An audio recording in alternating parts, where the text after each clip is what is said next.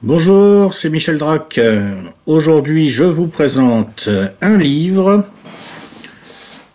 L'État islamique, anatomie du nouveau califat, de messieurs Olivier Hahn et Thomas Flichy de la Neuville.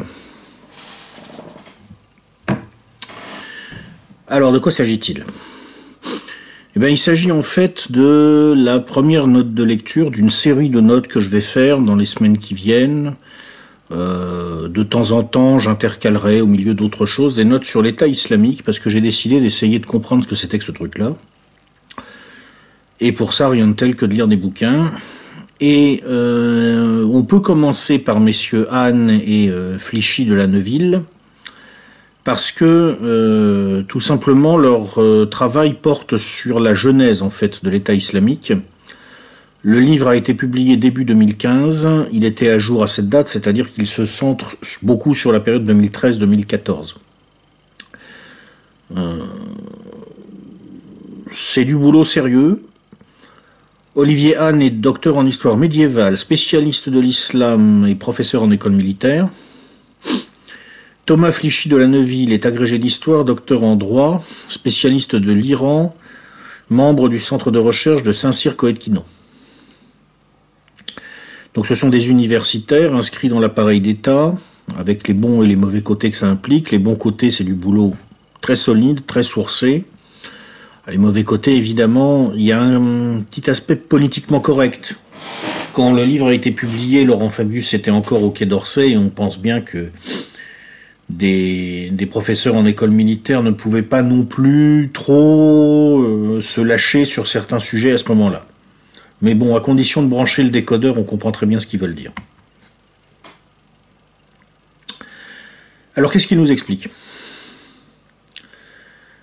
Eh bien, euh, d'abord, ils répondent à une euh, première question que je me posais depuis qu'on avait entendu parler de cette histoire d'État islamique.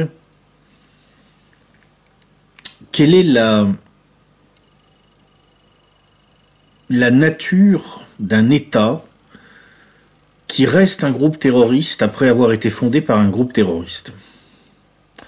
Parce que ça ne peut pas être un État au sens où on l'entend en Occident.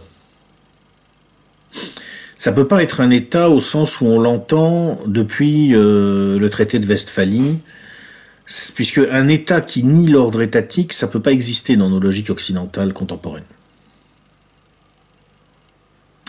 Eh bien, ce qu'il faut comprendre, c'est ce que nous expliquent euh, messieurs Hahn et Flichy Neuville, c'est que ça n'existe pas dans nos logiques occidentales contemporaines, mais ça existe dans la logique des gens qui ont proclamé un nouveau califat. Ça existe parce que effectivement, ces gens-là pensent dans les catégories en gros du haut Moyen Âge, c'est-à-dire en fonction de normes et de règles qui étaient celles des califes de l'islam au 8e siècle et qui n'ont rien à voir avec nos normes et règles contemporaines. Alors c'est tellement décalé par rapport à notre vision du monde qu'on a du mal à croire que ça existe, d'où beaucoup d'explications artificielles, euh, mais en réalité, d'après en tout cas ces auteurs, si on comprend bien l'histoire du monde arabo-musulman, il y a une logique, il y a une cohérence dans le fait de venir comme ça, en plein milieu du, euh, du 21e siècle, nous proclamer un État, un califat dont la logique remonte 13 siècles en arrière. Qu'est-ce que c'est ce califat? En fait, c'est une opération de conquête à partir d'une base territoriale, une guerre sainte qui doit être proclamée rituellement au moins une fois par an, l'interdiction faite au calife de rester en paix avec les infidèles plus de dix ans. Vous savez, ça a l'air extrêmement euh, barbare, ce que font ces gens-là, la façon dont ils fonctionnent, et on a envie de mettre en accusation en quelque sorte la civilisation islamique. Mais souvenons-nous de ce qu'était la manière dont Charlemagne a traité les Saxons païens à peu près à la même époque. Effectivement, euh, au, Moyen Âge, c'était la norme, ça fonctionnait comme ça. Alors ce qui explique ce retour vers l'avenir euh, en ce sens que le, le, comment dire, un passé serait supposé incarner un avenir, c'est ce truc bizarre qui s'est produit dans cette civilisation islamique. D'après les, auteurs, euh, c'est que, euh, en fait, le destin de la civilisation arabe sunnite a en quelque sorte été brisé par un accident historique. Euh, jusqu'au début du XIIIe siècle, cette civilisation a été assez brillante. Elle s'est développée, elle a porté des réalisations qui n'étaient pas du tout négligeables, elle a triomphé en fait de l'attaque occidentale au moment des croisades. Les Arabes ont gagné le, combat contre les croisés. Mais, mais le malheur des califes de Bagdad a été que leur territoire était propice aux grands raids de cavalerie, à la différence de l'Europe occidentale. Et donc le vent mongol les a renversés, alors qu'il n'a pas renversé l'Europe occidentale. En 1258, les Mongols ont pris Bagdad, ils ont détruit la dynastie abbasside, et depuis cette date, le monde arabe sunnite, en quelque sorte, vit dans le souvenir de sa grandeur passée, et avec la nostalgie de ce qu'il aurait pu devenir sans cet accident historique qui l'a balayé.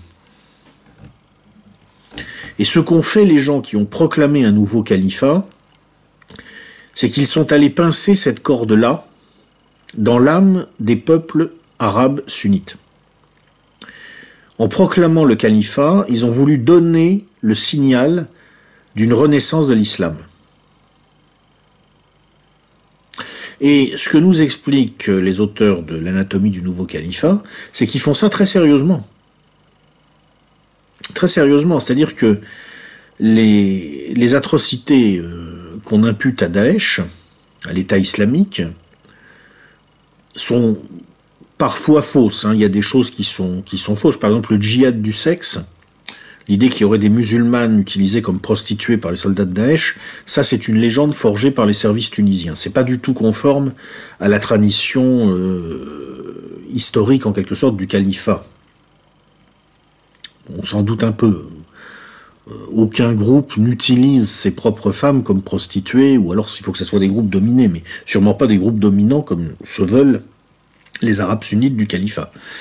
Euh, en revanche, beaucoup de ces atrocités sont absolument euh, vraies, et elles sont, c'est ce que nous expliquent les auteurs du bouquin, elles sont parfaitement logiques si on rentre dans la logique des gens qui font ça c'est licite dans l'islam dit takfiriste, c'est le nom technique de, cet islam-là, cet islam qui veut revenir en fait au 8e siècle, euh, c'est licite de violer euh, systématiquement les captives non musulmanes, euh, de, crucifier les captifs, etc. Tout ça, c'est c'est la norme, c'est tout simplement les normes du 9e siècle, 8e, 9e siècle remise au goût du jour. Alors, avec cette originalité euh, étrange, euh, que évidemment Daesh combine ce retour au 8e, 9e siècle avec des techniques d'embrigadement sectaire qui sont tout à fait contemporaines, par exemple dans l'usage d'Internet. C'est le, comment dire, de Daesh, c'est une entité politique du 8e, 9e siècle qui s'est connectée à Internet.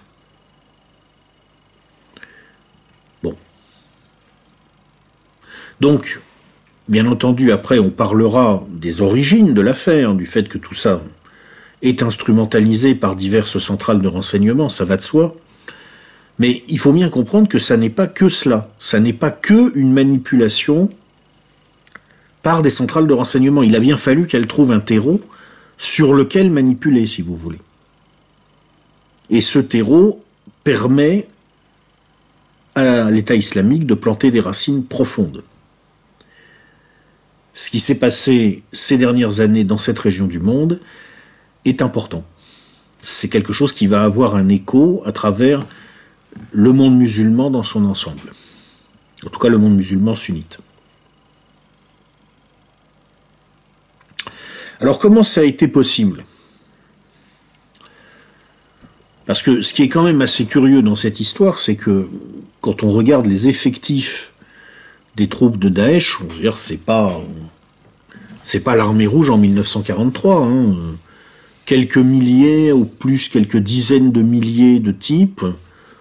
On va dire quelques milliers de vrais combattants aguerris et puis quelques dizaines de milliers de, de suiveurs qui combattent avec plus ou moins d'efficacité. Comment une force qui est a priori quand même assez marginale, qui n'a pas d'aviation, bon, qui a quelques blindés, mais qui ne peut pas de toute façon déployer des moyens technologiquement très sophistiqués, comment cette force-là a-t-elle pu prendre le contrôle d'un territoire important au milieu d'une zone qui en plus est surmilitarisée? Alors là encore, les auteurs nous donnent une explication qui me paraît assez crédible. Euh, en gros, ce qu'ils nous expliquent, c'est que euh, bon, pour comprendre l'origine de Daesh, il faut réaliser que en fait, ce ne sont pas ces quelques milliers de combattants qui ont réellement fabriqué l'État islamique, au sens d'entité dotée d'un territoire il s'est passé autre chose. En fait, à la limite, c'est presque un habillage d'un autre phénomène. En Irak, il y a à peu près 17% de sunnites, 49% de sunnites, de, chiites, pardon, et le reste, ce sont des Kurdes des divers groupes euh, confessionnels, ethno-confessionnels. lorsque les Américains ont envahi l'Irak en 2003-2004, ils n'ont pas réussi en fait à prendre le contrôle de la zone sunnite définie par le triangle Ramadi, Fallujah, Tikrit. On nous a dit à l'époque que euh, l'Irak avait été conquis, que euh, les forces irakiennes étaient détruites, que l'armée américaine avait triomphé, mais tout simplement c'était pas exact. Les Américains ont réussi à prendre le contrôle à peu près du nord kurde et du sud chiite, mais au centre, dans le triangle sunnite, ils n'ont jamais réussi vraiment à prendre le contrôle du terrain.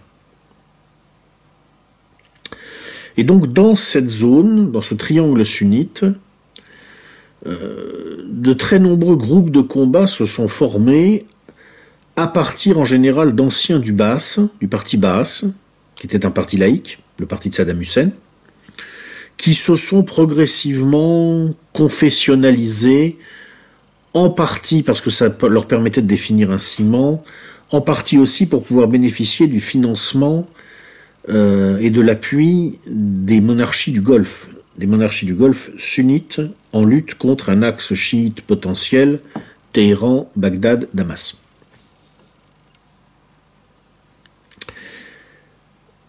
Parmi ces groupes, un d'entre eux était un petit peu différent des autres. Ce groupe s'appelait Unicité et Djihad.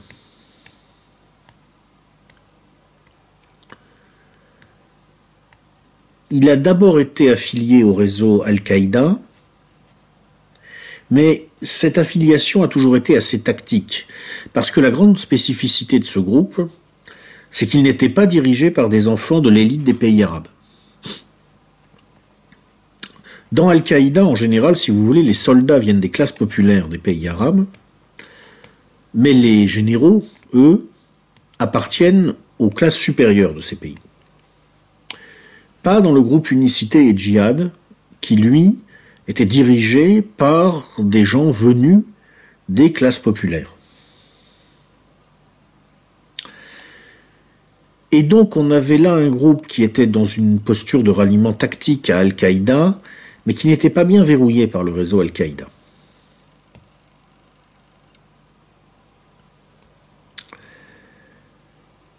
En 2013, ce groupe avait pris une certaine ampleur grâce à des succès militaires euh, non négligeables euh, dans des campagnes d'attentats et d'enlèvements. Et à ce moment-là, le Premier ministre irakien, chiite, Nouri al-Maliki, a semble-t-il commis une sorte d'erreur. Il a mal calculé certains rapports de force. Il a cru qu'il pourrait se passer de l'appui des tribus sunnites pour stabiliser malgré tout à peu près la situation de l'Irak. Qu'est-ce qui l'a poussé exactement à s'éloigner de ces, de ces forces avec lesquelles il avait jusque-là accepté de discuter et de chercher des, compromis? On ne sait pas exactement. Toujours est-il que en 2013, il a dissous des milices qui s'appelaient les euh, comités Al-Sawa. Je ne sais pas ce que ça veut dire en arabe, malheureusement je ne parle pas arabe. Et ce faisant, Nouri al-Maliki a braqué contre lui la plus puissante des tribus sunnites de cette région. Alors, quand on parle de tribus, là-bas, c'est des centaines de milliers, voire des millions d'individus. Hein. Et c'est une réalité très structurante pour la société irakienne. On, parle d'institutions qui remontent parfois au temps mésopotamien, même antérieur à l'islam. Hein. Bon. Et donc, Nouri al-Maliki a braqué contre lui la plus puissante de ces tribus, les, euh.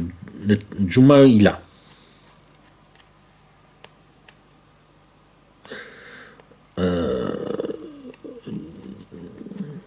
quand cette tribu est entrée en rébellion, elle a, semble-t-il, en quelque sorte conclu un pacte d'adossement avec le groupe Unicité et Djihad. Vous avez des soldats, ils sont bien formés, vous avez une idéologie, euh, vous voulez euh, former un État islamique sunnite dans cette région, nous, avec nous, la tribu des Joumaïla et nos alliés, d'autres tribus qui sont dans leur sillage, nous pouvons vous donner en quelque sorte la base euh, démographique et territoriale pour le faire. Et donc en fait, cet État islamique, c'est deux choses à la fois. En apparence, c'est quelque chose de purement confessionnel, c'est la proclamation du nouveau califat, ce que voulait le groupe Unicité et Djihad. Mais en même temps, euh, c'est aussi une rébellion tribale. Et le refus par un groupe euh, tribal euh, local de reconnaître un gouvernement central.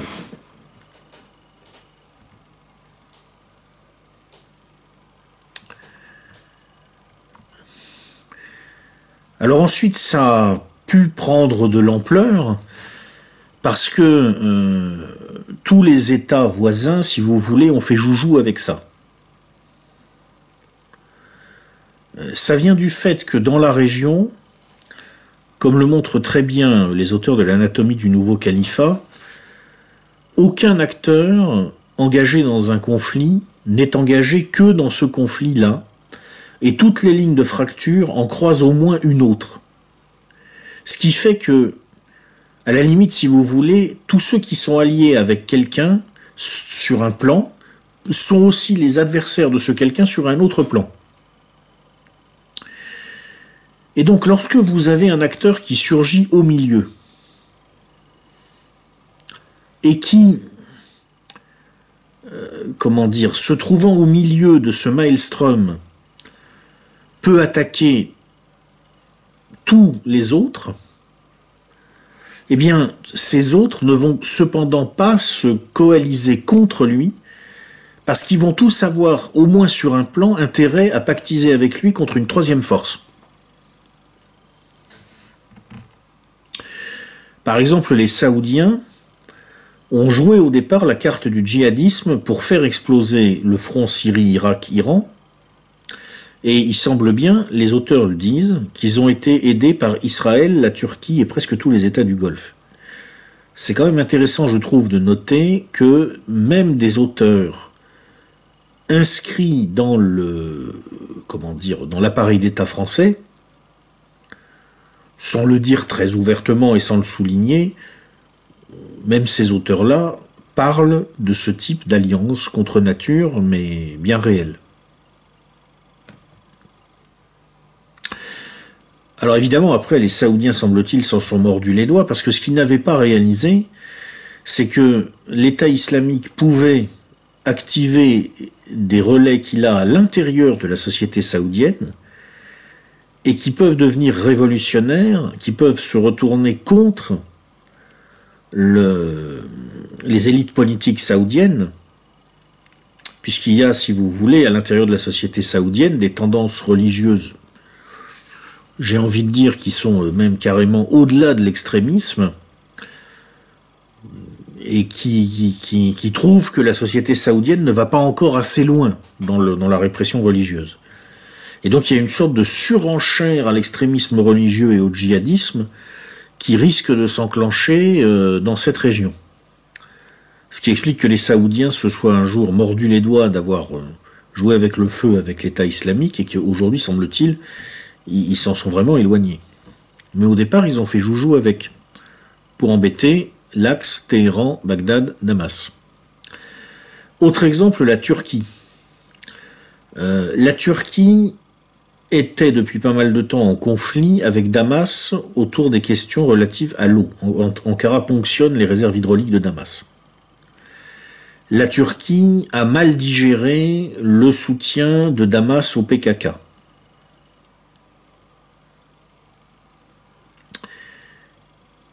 Elle a, semble-t-il, soutenu la poussée de Daesh vers l'est de la Syrie, contre Damas.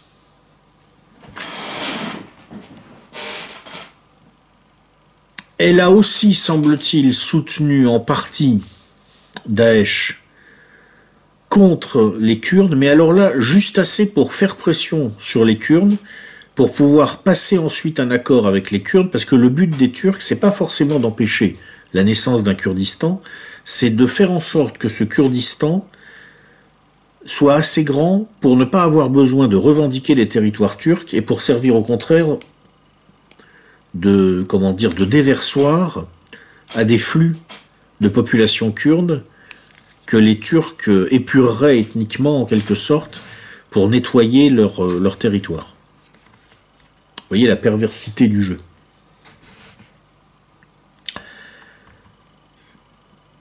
Clairement, on est euh, on est dans, ce type de schéma au moment où Daesh prend de l'ampleur. Des acteurs divers qui vont jouer en quelque sorte avec cette entité pour trianguler des conflits en fait.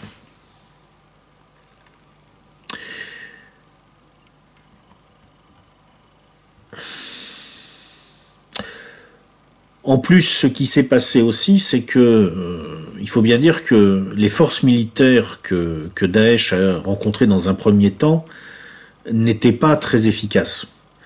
Bon, l'armée de, de Bagdad, c'est une armée qui est encadrée par des officiers sunnites et c'est une armée qui est peuplée de conscrits chiites.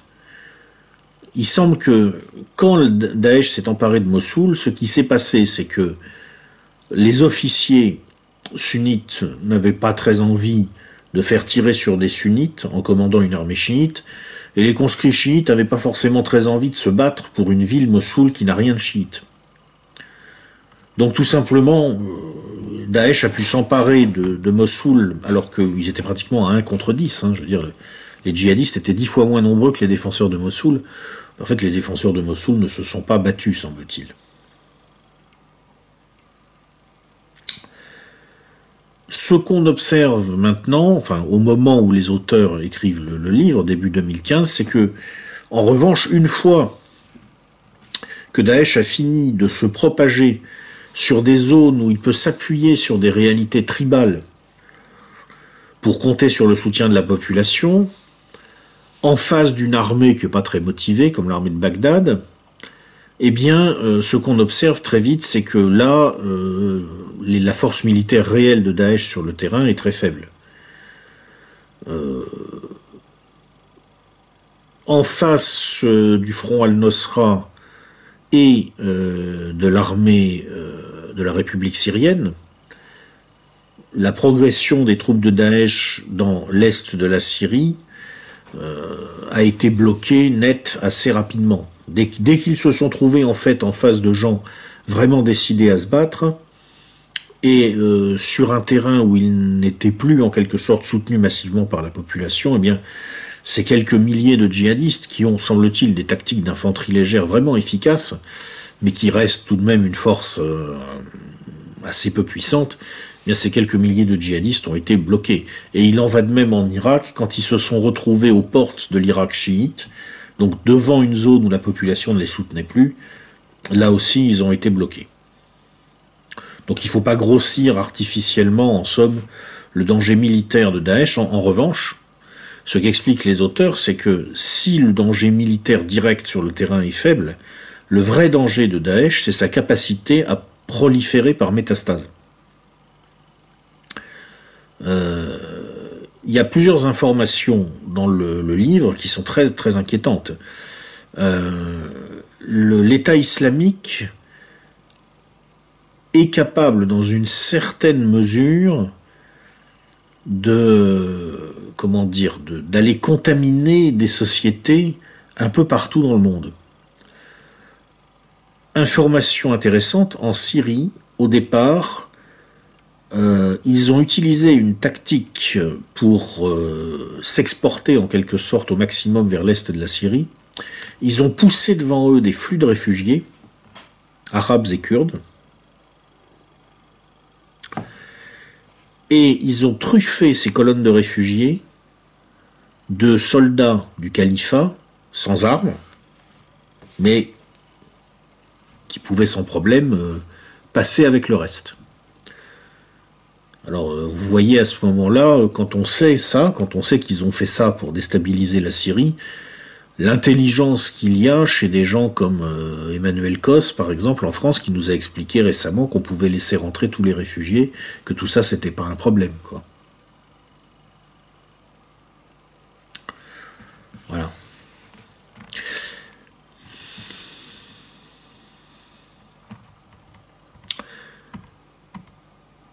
Alors, en conclusion, Qu'est-ce que, j'en pense de l'anatomie de l'État islamique euh, vue par messieurs Anne et Flichy de la Neuville Eh bien, j'en pense que c'est intéressant, que j'ai compris pas mal de choses. Là, je vous ai délivré peut-être, je sais pas, 5% de l'information contenue dans le bouquin. Donc ça reste un travail de gens qui, étant inscrits dans l'appareil d'État, ne peuvent pas tout dire. C'est clair que par exemple, euh, je me suis un petit peu euh, amusé, on va dire, quand j'ai vu qu'à chaque fois qu'il parle des relations entre les, les centrales de renseignement occidentales et, l'État islamique, nos, les, forces occidentales, d'une manière générale, l'État islamique, nos auteurs imputent le, comment dire, le soutien indirect apporté à l'État islamique à des erreurs. Ce sont toujours des erreurs. C'est-à-dire que euh, les Américains, quand ils ont laissé se développer l'État islamique au début, c'est une suite d'erreurs. Alors les, auteurs sont quand même assez, pas, enfin, quand même le sens du ridicule. Donc ils mentionnent ce petit détail que euh, l'Irak possède 115 milliards de barils de pétrole de réserve et que quand l'État islamique a surgi, euh, les compagnies US étaient en train de perdre les contrats du gouvernement irakien, chiite, donc potentiellement proche de Téhéran, donc potentiellement sur un axe, on va dire, islamo-confucéen, pour parler comme Huntington et que euh, d'ailleurs à ce moment-là, il y avait quand même 10 000 Chinois qui travaillaient sur les gisements irakiens, 10 000 Chinois dont le travail a été bien perturbé par, l'État islamique. Mais bon, c'est, c'est, les Américains ont laissé se développer l'État islamique parce qu'ils n'ont pas tout de suite pris conscience de la, la gravité de la chose. Hein. Euh, semblablement, euh, si euh, l'État islamique peut sévir sur Internet, qui est quand même une architecture essentiellement contrôlée par les Américains, c'est parce que ça permettrait de faire du renseignement et que les Américains finalement préfèrent laisser l'État islamique s'avancer sur Internet, enfin auraient préféré un certain moment, pour pouvoir faire du renseignement sur lui. Hmm. Oui, oui peut-être, oui.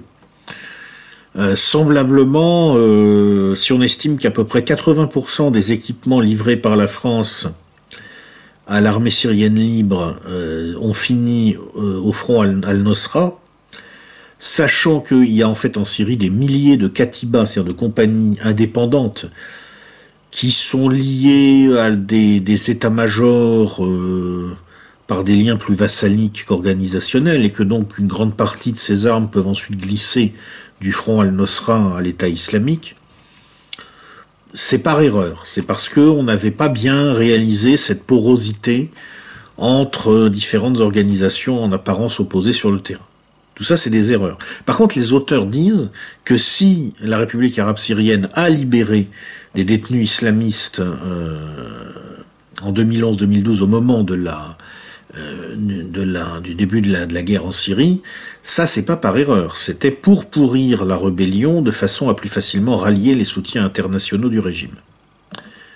Voilà, c'est-à-dire que, en fait, quand les Occidentaux arment le front al-Nosra et indirectement l'État islamique, qu'ils le laissent se développer, c'est des erreurs. Par contre, quand la République arabe syrienne envoie des fous furieux djihadistes dans la rébellion ça c'est pas une erreur, c'est forcément parce qu'ils l'ont fait exprès, parce que c'est les méchants. Bon, c'est sûr que c'est un petit peu la limite du travail de messieurs Anne et Flichy de la Neuville. Ils ont quand même le courage de dire que finalement dans cette histoire, les seuls qui ont une position claire, c'est les Russes. Soutien à El-Assad et combat sans concession contre ses adversaires. Ils ont quand même le courage de le dire c'est pas mal, euh, je trouve, euh, pour des gens qui sont inscrits dans l'État, dans le dans l'appareil d'État français au début 2015. Euh, je dirais qu'ils ont ils ont sauvé l'honneur et que leur travail est vraiment très utile, qu'à condition de se souvenir qu'ils avaient des lignes rouges, un boulot professionnel comme ça de gens qui connaissent leur sujet, c'est à mon avis incontournable pour bien bien comprendre de quoi on parle. Donc, on peut euh, tout à fait euh, lire l'État islamique, anatomie du nouveau califat. C'est tout à fait, tout à fait lisible. Voilà. La prochaine vidéo, puisque maintenant je vais prendre l'habitude d'annoncer mes vidéos, la prochaine vidéo portera sur un livre qui n'a absolument rien à voir avec l'État islamique, parce qu'on ne va pas rester tout le temps là-dessus, hein. on reviendra sur l'État islamique plus tard, mais on va un peu varier. Ce sera Le crépuscule de la France d'en haut, de M. Christophe Guilluy. Un ouvrage sur la sociologie française contemporaine. Un ouvrage de sociologie sérieuse, je précise. Voilà. A plus.